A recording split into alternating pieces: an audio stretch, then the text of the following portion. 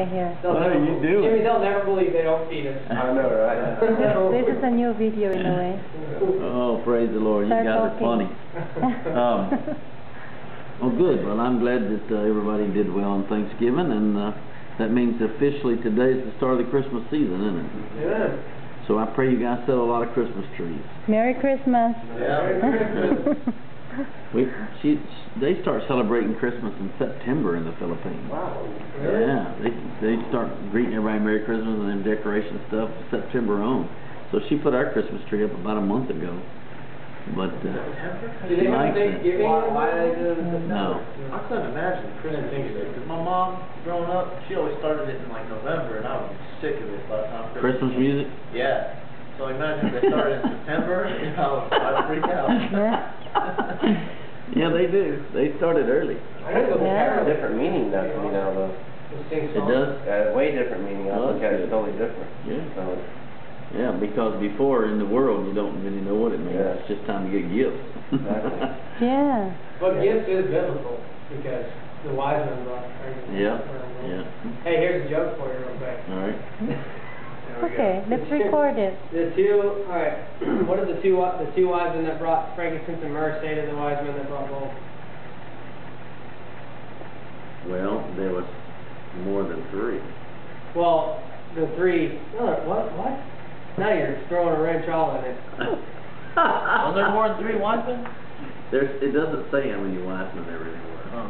Okay, well, say there was three. Alright, yeah. There's three wise men. And The first one brought frankincense, okay. and Okay. they thanked him, and the second one brought myrrh, and they thanked him. The third one came up with his gold and sat it down, and the other two looked at him and said, hey man, what the heck, I thought there was a ten dollar limit.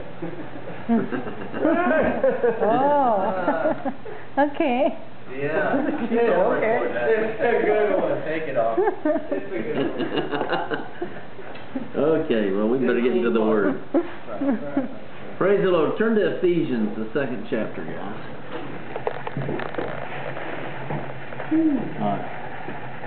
Are you guys hot, or you just like to have it like a refrigerator in here? Hmm. We were hot. Is it cold? I think it's. Cold to me. Really cold here? It's fine. Hmm. Whatever you guys want. Well, we can't change it anyway. Yeah, we don't have. We have to keep the thing. Yeah. We're, we're, we haven't used our air conditioner in probably at least a month now. Yeah. Because it gets cool out here like this, it's nice. But we're not as physical as you guys as far as, you know, hanging lights and doing that kind of stuff probably, so. Don't work up a sweat.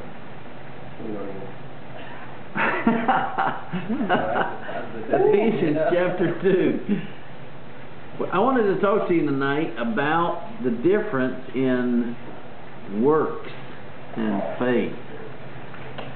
Because even people that have served the Lord for years and years and years and years still can't seemingly get a clear definition between faith and works.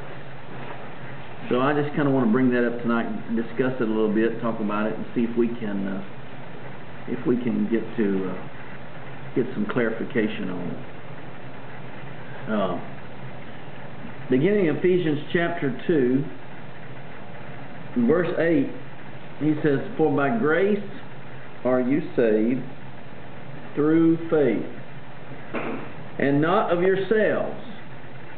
It is the gift of God, not of works, lest any man should boast. For we are his workmanship, created in Christ Jesus unto good works, which God hath before ordained that we should walk in them. So that's the verses we want to talk about, verses 8 through 10. Let's pray. Father, we love you. We thank you for this time together. Thank you for these men of God, mighty men of faith. Lord, we thank you, Father, for the Holy Spirit to open our hearts and our minds and our spirit, our soul, our bodies, Lord, to understand what you're saying to the church today, Father. And we thank you for that in the mighty name of Jesus. Everybody said? Amen. Amen. All right. Verse 8 says, By grace are you saved. What does that mean to you? By, by grace you're saved, Yeah. that means that, uh, we can't, it's only, it's only by God's love, unconditional love, Okay. that, that we can be saved because we're, because we all break the law. Right. As as what is grace? Undeserved, unearned love. Power. Okay? It, it's, uh, unmerited favor is one big thing. Grace is, is if you don't deserve anything,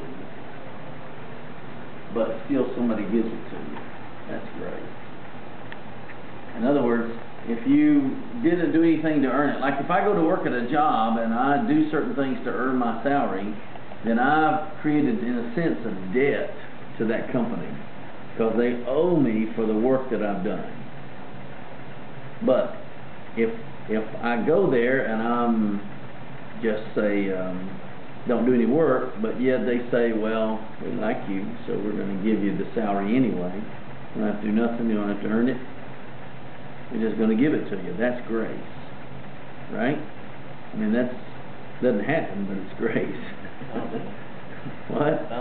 Yeah, but it, you know, I don't, I don't see it happening too often. But uh, so here he says in verse eight, by grace we are saved. Okay, so that's telling us absolutely nothing we have done can save us. All right, nothing. So I can't look good enough. I can't be clean up enough. I can't quit doing cigarettes, drugs, alcohol enough. I can't uh, go to church enough. I can't have enough money to buy my way in. Uh, nothing I can do would merit God's indebtedness to me to save me from something I've done. All right? You with me? In other words, I can't create a debt against God by doing something good enough. Just won't happen. The biggest lie the devil tells lost people is when I get rid of this or that sin, then I'm going to come to the Lord. You know?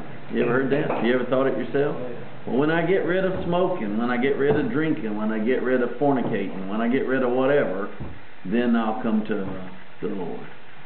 And you know what? It doesn't happen because if you could get rid of those things yourself, you wouldn't need the Lord.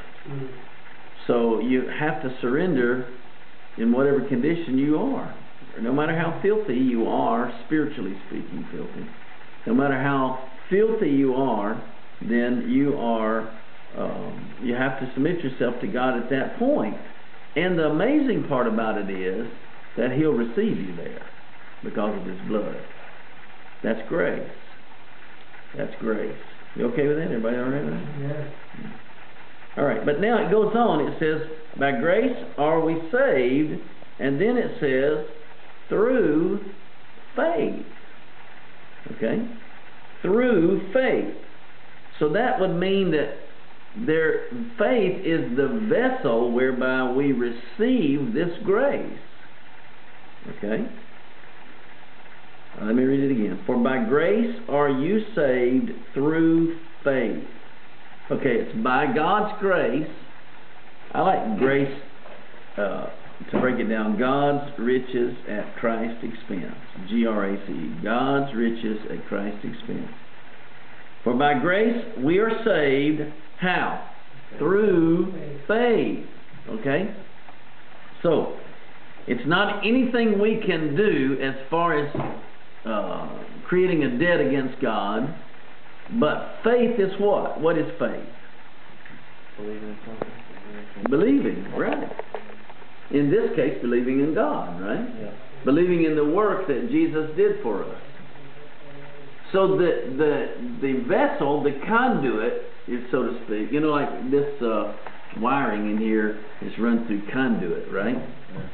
So that wiring run through that conduit to bring the power to the light to light it up.